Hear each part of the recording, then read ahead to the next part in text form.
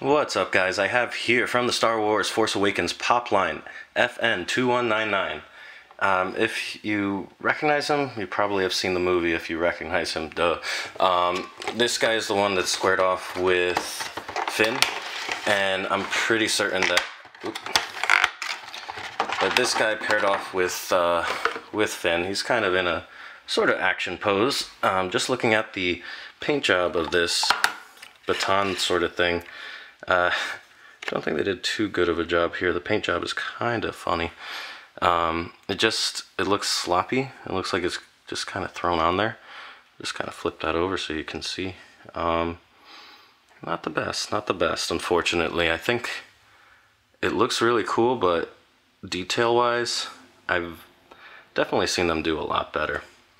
Otherwise, the rest of it, he's in a sort of actiony pose. Um, I remember that he did have like a shield that he threw down, and it's interesting that this guy would get named, but I don't know. That's just kind of how Star Wars works, where you know characters that show up for a little bit, they get a name and they get a backstory and they get a lot of merchandise.